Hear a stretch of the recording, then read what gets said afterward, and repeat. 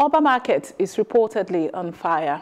Edo State government has already mobilized the fire service, security agents, and other relevant personnel and agencies to the market. We'll bring updates in our subsequent bulletin on this matter.